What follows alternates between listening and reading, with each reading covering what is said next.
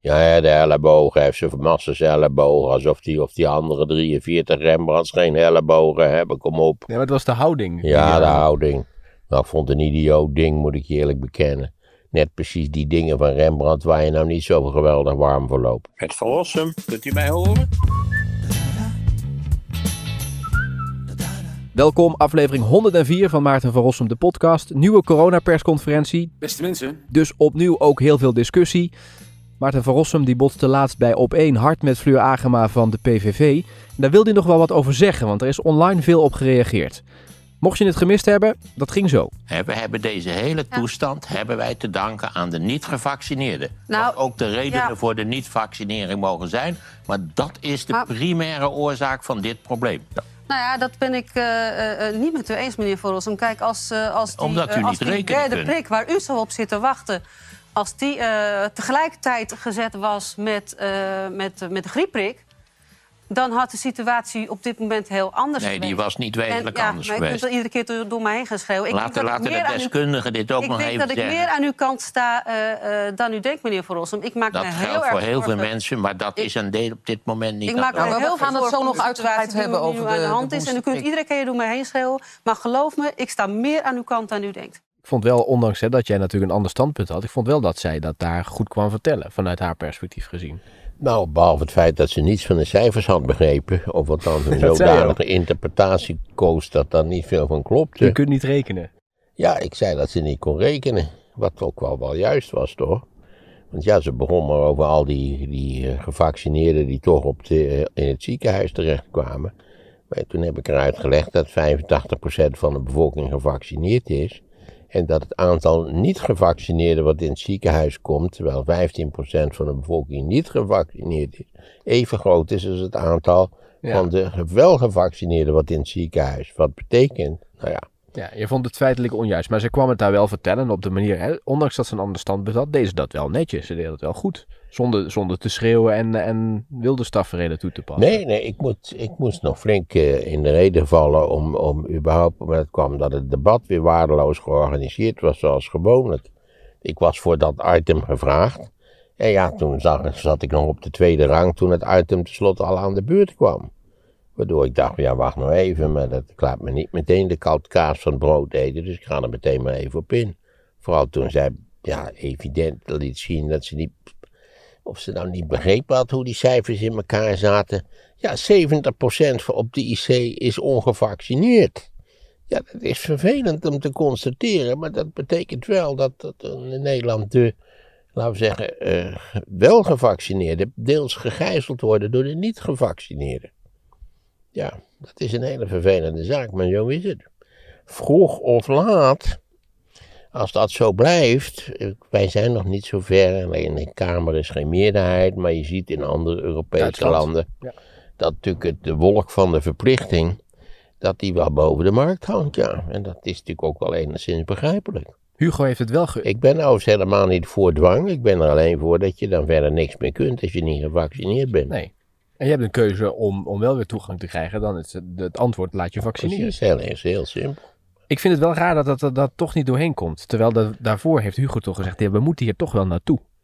Ja, en zeker ook kijk naar andere landen. Het- het- ik begrijp ook niet precies waarom men, men, mens is toch heel gevoelig voor dat argument van dwang en dat we Ja, dat ja. niet moeten doen. En lees je ook allemaal gevoelige stukken in de krant dat als je er meer druk op zet, dat die mensen dan nog weigerachtiger worden. Je moet ze meenemen in de flow en zo. Maar ja, als ze natuurlijk maar eigenwijs genoeg blijven, dan kun je ze kun je wel eindeloos die mensen meenemen in de flow of proberen. Maar als het niet gaat, dan gaat het niet. Nee, precies. En je kunt veel beter proberen om te kijken wie zijn het die niet gevaccineerd zijn.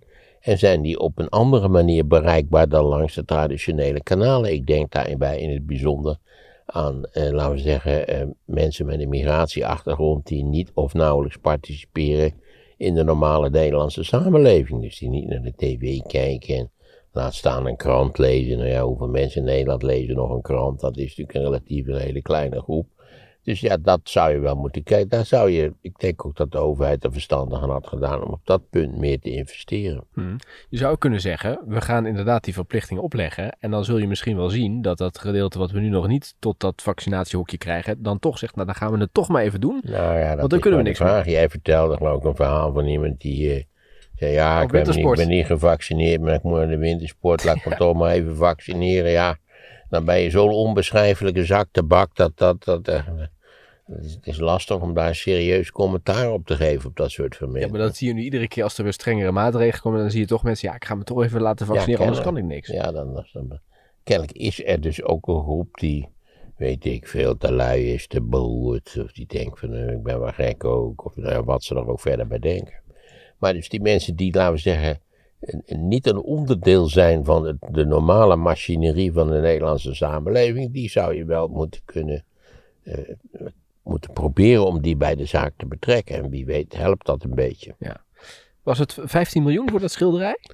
15 miljoen was dat het maar geweest. Nee, 150 was het. nee het was 175 miljoen. 175, kijk aan. 175 miljoen eh, strijkt die Rothschild op voor dat schilderij van Rembrandt. Ongelooflijk. Wat ik eerlijk gezegd nog al Rembrandt vond. Het is ook niet iets waarvan je denkt, nou, dit is onmisbaar. Dit is, dit is nationaal. Ik bedoel, als je het ziet, dan springen de tranen je al in de ogen. Dit is, dit is zo charismatisch. Dit is zoiets ongelooflijk. Nee, helemaal niet. En we hebben er over dit probleem volgens mij al eerder gesproken. Hou op met die zogenaamde topkunst te kopen. Die topkunst, en dat is weer een, een marktbeginsel, is achterlijk duur. Als je kennelijk toch 175 miljoen wil uitgeven voor eh, de aankoop van kunst, spreid dat dan. Kijk, want als je namelijk iets onder het niveau van de topkunst zakt, kun je fantastisch leuke dingen kopen voor 175 miljoen euro. En nu besteed je dat aan een enkel. Je begrijpt dat de kunsthistorici meteen massaal zijn uitgerukt. Een zeer interessante Rembrandt. Ja, heel, heel bijzonder. Ook door, door zwart-wit en de licht- en donkerwerking. Echt, dit is iets Ja. wat we niet kunnen missen. En de manier waarop hij de is ook elleboog hield, hè? bijvoorbeeld de enige belangrijke Rembrandt die nog in particulier bezit is. Bovendien, als we nou in Nederland helemaal geen Rembrandts hadden, dan zou ik nog zeggen, oké, nou, daar zit wel wat in. We hebben in Nederland tientallen Rembrandts. Het, het, Rijks alleen al heeft er al een stuk of twaalf of zoiets dergelijks. Dus het, het, is een, het is onbegrijpelijk en bovendien ook op zo'n weer zo'n manier bij elkaar geritseld dat alleen eigenlijk lui die er zogenaamd verstand van hebben of die in de gremia zitten die hierover gaan, blijkbaar geslaagd zijn om de regering onder druk te zetten. En aangezien we natuurlijk ook al die Oopje en die Marten hadden, hebben we dus nu ondertussen een kwart miljard uitgegeven aan, aan drie Rembrandts, waarvan bovendien er twee zijn die regelmatig in Frankrijk hangen en niet hier. Dus ik vind echt, dit is de absolute limit. En dan moet je weten dat het hele kunstaankoopbeleid in Nederland, dat, gaat, dat is 18 miljoen euro. Dus dat is nou ongeveer 10% van wat we nu uitgeven aan dat. Nou, ik weet niet of jij het plaatje bekeken hebt, dat je denkt... Ja, ik heb het gezien. Bij Nieuwsuur was, die, was een deskundige en die, was van, die ging het uitleggen. Die ging voor het scherm staan. Die zei, kijk hoe die de elleboog houdt, de Italiaanse. Ja, de ellebogen heeft ze massas ellebogen, alsof die, of die andere 43 Rembrandts geen ellebogen hebben, kom op. Nee, maar het was de houding. Ja, de eh, houding. Nou, ik vond het een idioot ding, moet ik je eerlijk bekennen. Net precies die dingen van Rembrandt waar je nou niet zo geweldig warm voor loopt. Maar goed, met- dat is kunst. het, gaat, het gaat om de kwestie dat er 175 miljoen wordt besteed aan topkunst. Het woord alleen al irriteert me grenzeloos. Er is massa's enorm leuke, fijne kunst, interessant, gevarieerd te koop voor 175 miljoen euro. ja. Ik gun dit graag aan meneer de Rothschild. En ook aan de Franse culturele traditie. Want je weet, de Fransen hebben er een moeite mee om het te exporteren. Eh, ja, omdat Rembrandt natuurlijk eigenlijk voornamelijk een Franse schilder is. Net als Van Gogh, dat weet je. Ja. Vrijwel alle beroemde schilders zijn feitelijk Franse schilders. Nou ja, even dit tussen haakjes. Ik, ik vond het een, eh, een volstrekt onjuist en buitengewoon betreurenswaardig beleid. Maar volgens Als dat geld er dan toch is, besteed het op een totaal andere manier. Maar in feite is het er alleen als je weer topkunst kunt kopen. We hebben ook, ook al in de tijd die, die, die, die Mondriaan in, nou ja, hou op met die topkunst. Maar zij zijn bang dat het anders in, in de verkeerde handen valt. Zo wat. Wat mij betreft eh, gun ik die, die Rembrandt als vaandeldrager gun ik graag aan.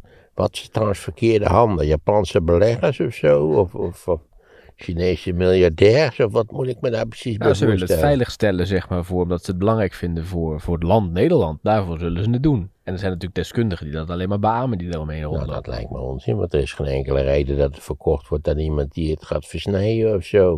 Dus die denkt, ik vind die, vind die kop zo leuk, die knip ik eruit. Nee, dat zit, er, dat zit er toch helemaal niet in. Dat is ook een beetje kletskoek allemaal. Nee, besteed dat geld aan, aan het verbreden van je museale collecties. En niet aan een enkel topstuk. Geeft de minister hier eigenlijk goedkeuring voor? Denk wel met zo'n bedrag. Ik neem aan van wel. Ik bedoel, die, die, die 150 miljoen, komt er dus wordt wat meegefinancierd door wat stichtingen en door het Rijk zelf.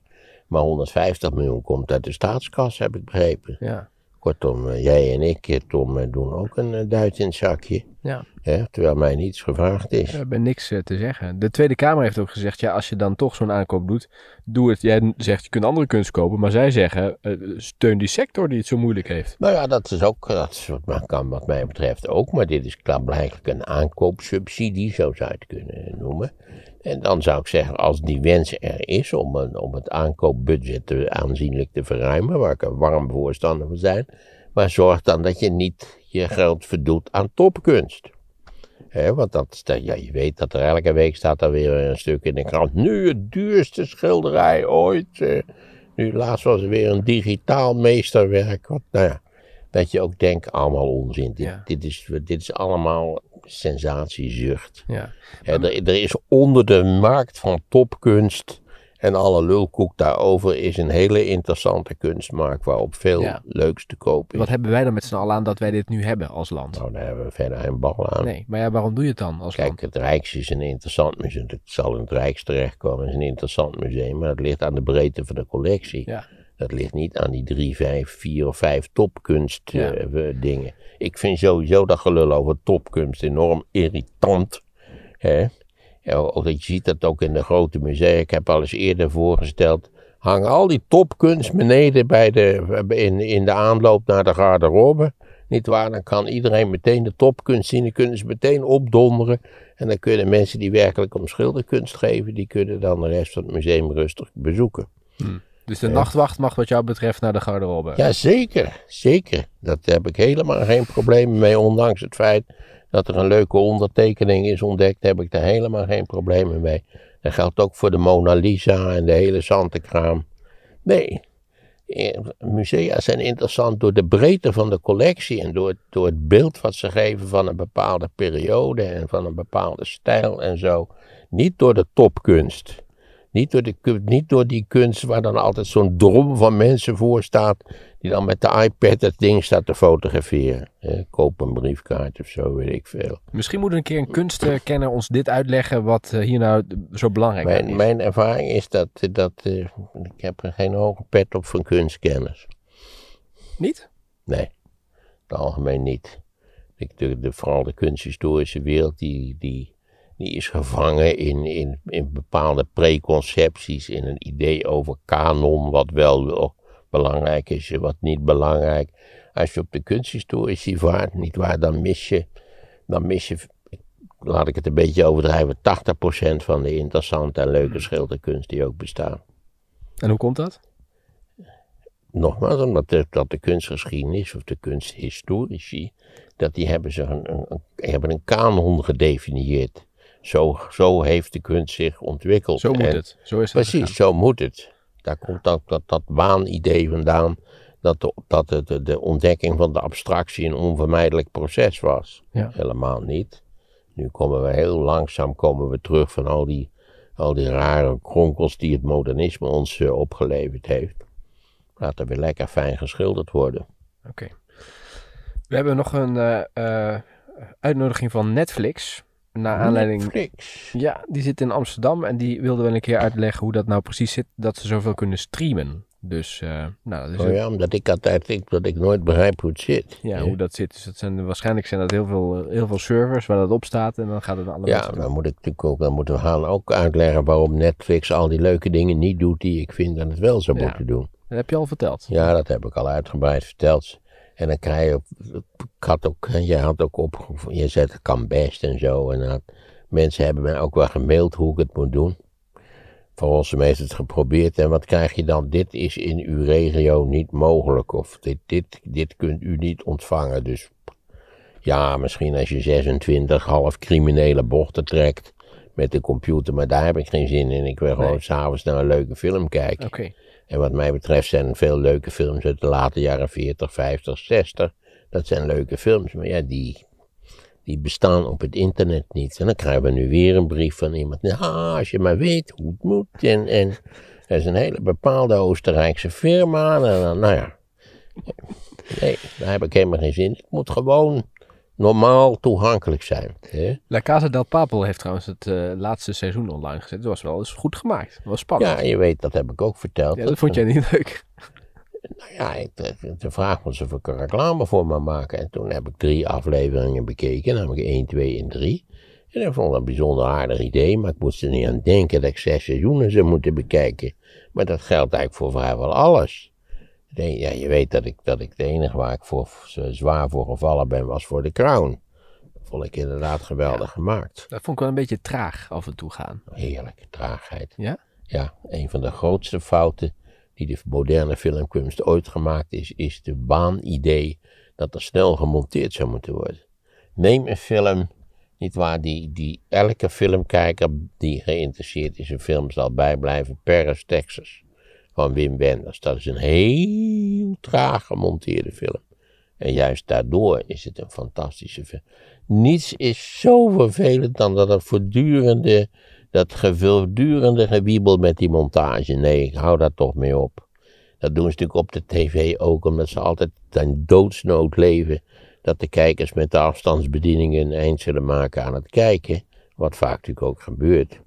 Veel televisie is natuurlijk ondanks alle montage zo ongelooflijk strompvervelend. Dat je al überhaupt niet begrijpt waarom de mensen naar kijken. Maar nee, snelle montage, daar ben ik. Dat we zeggen, je moet wel goed doen. Dus die trage montage moet wel.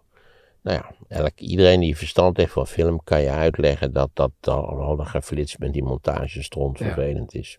Ik vond nog wel opvallend deze week dat Jan de Hoop Scheffer op die eh Borsato-geruchten ging reageren. Als voormalig secretaris-generaal van de NAVO. Ja, dat vind ik ook wel vrij vreemd. Nou begreep ik dus dat, die, dat niet duidelijk is wie die geruchten verspreidt. Ja, de Telegraaf En- die meldt dat er inmiddels aangifte is gedaan van seksueel misbruik tegen Marco Borsato door een jonge vrouw. Dus wordt De vervolgd. vraag is natuurlijk altijd waar dan zulke geruchten, geruchten vandaan kwamen. En Ja. wie heeft er voordeel bij om dat eindeloos te verspreiden? Ja, Het Ja. wordt kennelijk verspreid via, via kanalen die ik in ieder geval nooit gezien ja op heb. YouTube. De, de eh, eh, bo- borrel, nee, Roddelpraat heet dat programma. Die hebben, dat zijn twee jongens die praten met elkaar en die, ja, die roddelen. En die hebben dit. Dan zijn het schoften. Dat, dat ze allerlei geruchten verspreiden die volkomen onjuist zijn en die bovendien kwetsend zijn en, en schade kunnen berokkenen aan de betrokken persoon. Ja, Dan vind ik dat die luiders eh, inderdaad aangepakt moeten worden. ja. Nog een mooi verhaal uit eh, Vught, de zwaar eh, beveiligde De gevangenis. EBI. Ja, heb je het gehoord dat ze daar allemaal, Ja, ja, ja, dat heb ik gehoord. Ik geloofde er niks van. dat er geen helikopter meer kan landen? Nee, joh. Volgens mij dachten die, die, die misdadigers, weet je wat we doen? We, we gaan ze een beetje op stang jagen. Ze. We gaan ze, we gaan ze laten we hele Die Taghi. Ja, precies. We gaan ze lekker bang maken. Ah. En inderdaad, nu hebben ze het hele binnenplein volgegooid, geloof ik, met stroobalen, zodat er geen helikopters kunnen landen. We zouden aanwijzingen toch, dat, eh, dat er een ontsnapping Nou, geregeld zou zijn. Dat, ik betwijfel dat. Door de neef van Taghi, een van de neven zou dat dan moeten ja, gaan dat regelen. is wel een hele risicovolle operatie. En zeker met helikopters is dat allemaal heel, dat hoeft. Dat, dat kan heel makkelijk misgaan. Ja. Het klinkt wel sensationeel als je het Ja, da- daarom. daarom. Het staat natuurlijk in alle kranten. Ik zou me ook niet verbazen als het gewoon uit de duim gezogen is door, door die, door, laten we zeggen, de, de criminele scene. Zo van, kijk eens wat wij kunnen verzinnen. Het was wel erg een beetje filmisch en Hollywooderig eigenlijk, het Ja. hele idee. Ja.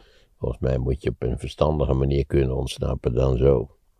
Nou ja, als je met zware wapens daar binnenkomt, want dat schreven ze ook, dan kun je toch wel... Ja, wat- kijk eens, als je een ouderwetse Duitse panzerdivisie zou kunnen huren, dan eh, moet ik zeggen, dan is bevrijding altijd mogelijk. Daar ben ik wel veilig, eigenlijk van overtuigd.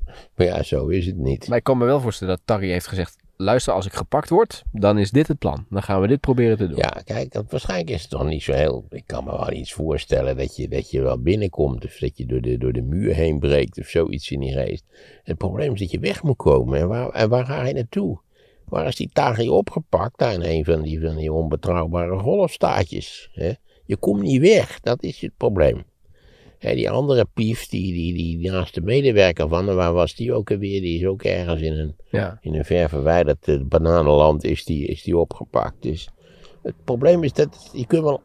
Oeh, SD-card full, zegt hij nu. Ja, dat is altijd zo. Hoe de god nou aan toe. Terwijl we eigenlijk moeten we de Vietnam nog Ja. afmaken. Moeten we mee doorgaan, ja. Eh, nou ja, we moeten het een keertje afmaken, dat is het eigenlijk, hè. Dus laten we dat toch maar doen, want we waren blijven steken in het, in het eh, onaangename jaar. eh, Lyndon Johnson had de verkiezingen gewonnen van 64 en hoewel hij had geposeerd als de vredeskandidaat in dat jaar, wat wel zo makkelijk was omdat zijn tegenstander was Barry Goldwater en die vond geloof dat er maar flink met nucleaire wapens gewerkt of gedreigd moest worden, dus dat klonk al niet zo verschrikkelijk goed of eh, veelbelovend. Eh, maar Johnson had ook al in het diepste geheim plannen gemaakt om eh, de interventie in feite te escaleren. En dat is ook gebeurd in 65. Er landden dan de eerste Amerikaanse mariniers in Da Nang. Er waren overigens al heel veel Amerikaanse adviseurs, dat moet ik erbij zeggen. Ik weet niet of ik dat duidelijk had gemaakt. Dat, kijk, toen Eisenhower vertrok, waren er 600 Amerikaanse adviseurs in Vietnam. Omdat in principe het idee was, Vietnam moest een bolwerk tegen het oprukkend communisme worden. Eh, en Kennedy heeft het aantal adviseurs sterk uitgebreid, van 600 naar 16.000. Dus kortom, heeft er een serieus engagement van gemaakt. Hij komt niet weg. Veel van die Kennedy-bewonderaars zeggen, ja, hij wou dat eigenlijk niet. En liever had hij er een eentje gemaakt. En alle andere pourparlers, maar daar geloof ik niet zo verschrikkelijk veel van. Eh, dus, en, maar nu komt er, komen er echt eh, gevechtstroepen aan land. Bij Da Nang komen de Amerikaanse mariniers aan land gezet. En men begint ook stap voor stap Noord-Vietnam te bombarderen. En wat zien we dan in de jaren daarop volgen? Niet waar, een steeds verdere escalatie. Omdat in feite wat de bedoeling was, namelijk dat de Vietcong eh, een, een kopje kleiner gemaakt zou worden, eigenlijk niet bereikt wordt, ondanks de escalatie van de Amerikaanse gevechtstroepen daar. Eh, met het bekende feit natuurlijk dat, dat altijd vergeten wordt dat de tegenstander ook kan escaleren. Mhm. Jij kunt escaleren, maar dan kan ik tegenstander kan ook escaleren. En ja, dan is de vraag waar is het escalatieniveau waarop beide partijen zullen zeggen, nou, misschien is dat niet zo wel. Hoe was trouwens de, de gevechtsstijl van de Vietcong? Want zij waren toch meer op de guerrilla Daar gericht. gaan we het nu over Oh, daar gaan we hebben. het nu over hebben, oké. De vraag is namelijk waarom was het Amerikaanse optreden, ook toen er tenslotte een half miljoen Amerikaanse soldaten in Vietnam waren, zo weinig effectief tegen de Vietcong? Dat, dat had natuurlijk een diepere ideologische oorzaak. Kijk, die Vietcong is altijd gezien als puur als communistisch. Maar die Vietcong was niet alleen communistisch, die Vietcong was natuurlijk ook hervormingsgezind. En die Vietcong was ook nationalistisch. Dus die had brede steun onder de Ararische bevolking in Zuid-Vietnam. Ten meer ook omdat de Vietcong wel voorstander was van, eh, laten we zeggen, landbouwhervormingen, hervormingen, bezitshervormingen die voordelig zouden zijn voor de, voor de boeren. Maar het is altijd een combinatie van nationalisme en, laten we zeggen, eh, communistische opvattingen. Dat nationalisme is een belangrijke component. En dat hebben de Amerikanen niet voldoende willen zien of kunnen zien, net hoe je het precies wil. En, en ook de manier waarop de Vietcong bestreden werd, die, dat heet search and destroy. En, en search is en, en destroy, dat is misschien ooit het best samengevat door een Amerikaanse militair, die nadat de Amerikanen een heel dorp in elkaar hadden geschoten, zei van ja, we had to destroy the village to free it. We, moeten het, eh, laten we zeggen, we moeten het dorp in elkaar schieten om het te kunnen bevrijden. Eh, Search and Destroy kwam erop neer dat de Amerikanen dus besloten in een bepaalde regio eh, te kijken of daar Vietcong was. Dan werd er een enorme hoeveelheid vuurkracht gemobiliseerd. Maar ja, als de Amerikanen iets kunnen, is het schieten en bombarderen Vanuit de natuurlijk lucht. Ja. vanuit de lucht, hoe dan ook maar. Maar het vervolg was natuurlijk dat zodra de Vietcong een snotje kreeg, dat er, niet waar, in die regio, in die streek, een forse Amerikaanse aanpak zou zijn, dat ze verdwenen. Ja, Zij smolten weg als sneeuw voor de zon. dat zou ik ook doen. Ja, dat zou iedereen natuurlijk doen. En daar komen we terug op het punt van guerrilla-activiteiten. Ja, de bestrijding was vaak voor de lokale bevolking een ramp, maar had weinig effect op de Vietcong in het zuiden van. Eh, een van de problemen natuurlijk van dat, van dat enorme geweldsgebruik op het, zuid, op het pl- platteland was dat een groot deel van de plattelandsbevolking naar de steden vertrok. Waardoor er een soort rare eh, ontwikkeling in Zuid-Vietnam was, waarbij eigenlijk de steden over, overgegroeid waren en het platteland deels verlaten vanwege de voortdurende geweldsdreiging. Eigenlijk even de punt als je kijkt later naar Afghanistan, idem dito. Hè, waar ook heel agressief met inzet van enorm veel geweld werd gezocht naar Taliban of andere opstandelingen. Ja, dat is allemaal hartstikke fijn, maar ten eerste is het heel moeilijk om ze te vinden, A. En B, is het de lokale bevolking die de meeste last van die pop, van die gewelddadige poppenkast van de Amerikanen heeft. Dus je maakt je er zelf ook niet populair mee. Hoe wist trouwens de Vietcong dat de Amerikanen gingen aanvallen? Nou, dat merkte je al ruimschoots van tevoren, want er werd er natuurlijk gebombardeerd en werden enorme artilleriebeschietingen uitgevoerd, dus dan, ja, dan verdween je. Ja, Maar en bovendien kon je natuurlijk altijd in Vietnam, als je even weet hoe het land uit, in elkaar zit. Niet waar, is het natuurlijk, er is daar zo'n zo'n gebergte, wat, wat ook grotendeels nog met rimboe berooid is. En bovendien kun je naar Cambodja en naar Laos Ja. verdwijnen indien noodzakelijk. ja maar de, de kunst is toch dat de Amerikanen, dat hebben ze ook in Afghanistan later toegepast, dat, ze, dat, dat is een verrassing moet dat zijn wanneer ze gaan aanvallen. Ja, maar dat is, als je zo grootschalig opereert als de Amerikanen, ben je zelden, ben je zelden verrassend bezig. Ook niet vanuit de lucht. Nou, ze zullen wel eens een enkele Vietcong eh, eenheid Ja, verrast hebben, maar dus als geheel is wat je wat search and destroy werd genoemd, is, dat is geen groot succes geworden. Nou ja, Johnson had dat dus allemaal geëscaleerd. Hij zat er enorm mee, hij vond het afschuwelijk. Hij zag ook wel dat het, dat het een ramp was voor zijn, voor zijn op zichzelf heel bijzondere en, en, en speciale binnenlandse politiek, want daar was hij verschrikkelijk goed in. En dan komt het zogenaamde Tet-offensief. En dan zitten we ondertussen in januari van het jaar 1968. En van het ene op het andere moment niet waar verovert de Vietcong in Zuid-Vietnam een hele rijk steden. Dat we zeggen provinciesteden. Eh, waardoor natuurlijk, ja, iedereen zei van ja, wat zullen we nou beleven? De Amerikanen zeiden toch dat, dat ze bezig waren om, om het land te pacificeren. En wat blijkt nu? Het is helemaal 0,0 gepacificeerd. De Vietcong is in staat om weet ik hoeveel provinciesteden plotseling in te nemen. En om, om in Saigon notabene, ik geloof vanuit het fietsenhok van de Amerikaanse ambassade, de Amerikaanse ambassade onder vuur te Ja, nemen. Echte vernedering. Ja, ja, hoe, hoe, zit, hoe zit dit eigenlijk? Nu is het interessante van dat Tet-offensief. Tet is het Chinese nieuwjaar, hè, of het boeddhistische nieuwjaar. Ik weet nou precies even. Altijd leuk om je te realiseren dat je op elk willekeurig moment in het jaar kun je nieuwjaar vieren als je daar lol in hebt. De Romeinen dacht ik op 1 maart, als ik me niet vergis, en wij doen het dan op 1 januari. Maar god, eh, ik zou het best lollig vinden om een keer af te spreken dat we het op 1 augustus doen. Ja, lekker in de zomer. Waarom Ja, in de zomer heb je ook heb je veel, veel heel, heel goed idee. Laat, laat, laat maar een partij oprichten om nieuwjaar op 1 augustus te gaan vieren. Heel goed idee. Het Tet-offensief. Het wonderlijke is dat er is enorm gevochten na dat Tet-offensief. Het wonderlijke is, ik denk nu ineens weer aan die film, waar ik nu in principe nog steeds niet precies de naam van weet. Dat had ik er even op moeten zoeken vanwege vorige keer. Het wonderlijke is, uiteindelijk was het Tet-offensief een militaire nederlaag voor de Vietcong. De Amerikanen hebben al die provinciehoofdsteden, die hebben ze weer terugveroverd. Maar wat een militaire nederlaag was, was in allerlei opzichten een psychologische overwinning.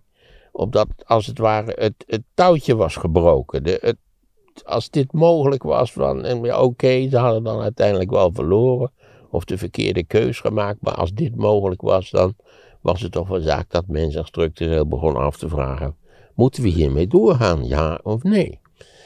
Eh, De Amerikaanse bevelhebber in Zuid-Vietnam, eh, William Westmoreland, die zei van ja, wat die generaals namelijk altijd zeggen, stuur me nou nog honderdduizend man en dan, hè, victory is just around the corner. Echt waar, het is, het is nog even, nou niet, niet klein, zielig doen, gewoon nog even doorpakken dan, dan dat hij altijd al gezegd had en ongetwijfeld eeuwig zou blijven zeggen.